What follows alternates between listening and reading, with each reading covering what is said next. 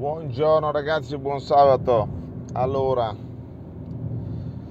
arrivata la decisione dell'UEFA e niente, siamo, siamo stati squalificati per un anno, un ambiente di 10 milioni più 10 se non si rispetteranno determinati parametri 23, 24 25.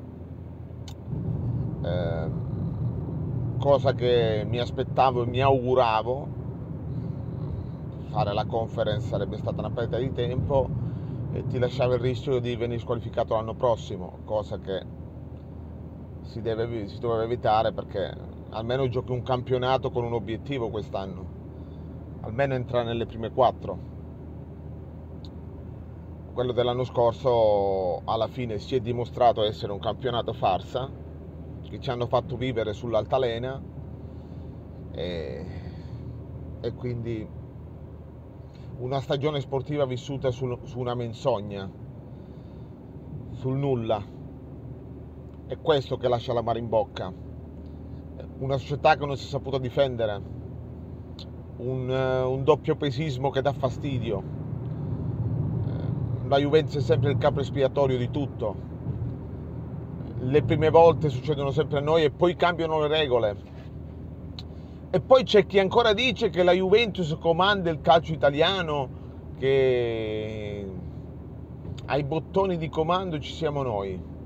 Vuol dire che è gente che non ha vergogna. La Juventus non comanda veramente nulla, nulla. Almeno da che ho memoria io, la Juventus ha potuto pigliare un'inculata dalla FGC, l'ha pigliata. Quindi, oppure di, di episodi in Europa sfavorevoli a valanghe. E quindi tutta sta grande potenza della Juventus a livello politico io non l'ho mai vista. Poi c'è chi dice che la Juventus ha avuto dei favori ed è una società potente per questo ha vinto. Bah, sarà. Io tutta sta potenza non l'ho vista. Quindi spie- spero solo che questa sia la pietra tombale su tutte le le cagate che hanno fatto contro di noi, che d'ora in avanti la dirigenza metta un ufficio stampa, un qualcuno che alla prima illazione ci difenda e si tira una, dri- una, una, una linea dritta su questa situazione, basta, sia a livello sportivo con l'allenatore, sia a livello di comunicazione con una, una comunicazione diversa, un modo di agire diverso perché con questo modo di agire non andremo mai da nessuna parte. Mai da nessuna parte. A me di essere simpatico non me ne frega niente.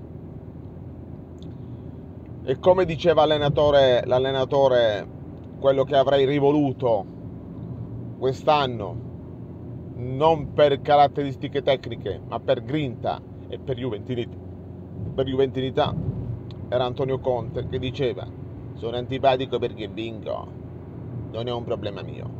Ed è questa la verità. A me non mi interessa di essere simpatico a nessuno. Quando sei simpatico vuol dire che sei debole. Un po' di antipatia la devi avere, perché vuol dire che o ti temono o ti invidiano. Io voglio essere o temuto o invidiato. Eh, e quindi sta cosa dà fastidio. Detto questo, sul calciomercato, ragazzi, c'è poco.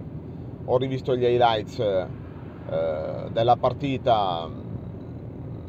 Timothy Weah mi sembra un ragazzo che ha voglia di fare, tanta voglia di fare. Eh, spero che tutti gli altri prendano spunto da questo ragazzino